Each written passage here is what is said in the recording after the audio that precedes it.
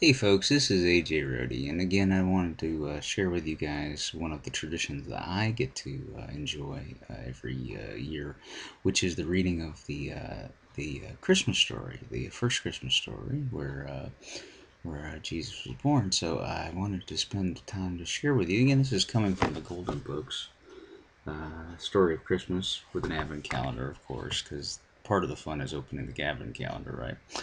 Um, this one's going to be about Mary. Uh, this is the next one in the series. I'll give you guys a look real quick here if I can look. And they, they have a really nice inside there. So this is the this is Mary, and uh, so we'll go ahead and we'll read that one. At last, the time foretold by the prophet Isaiah was at hand. There lived in Nazareth at that time a young girl named Mary, who was soon to be wed to the carpenter Joseph.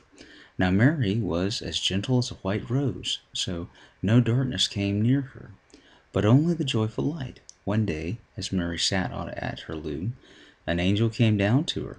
Fear not, Mary, the angel said, for you have been chosen above all women to bear the Son of God. Mary wondered greatly at this, for she was a maiden, not yet married.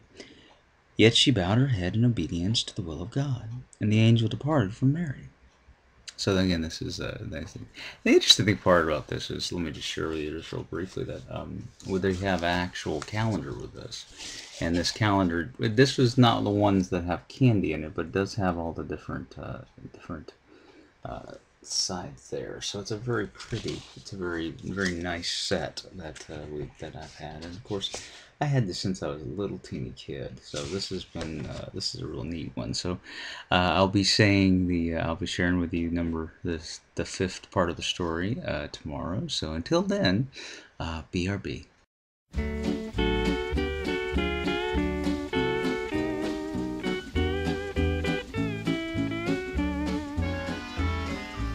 Uh, Melek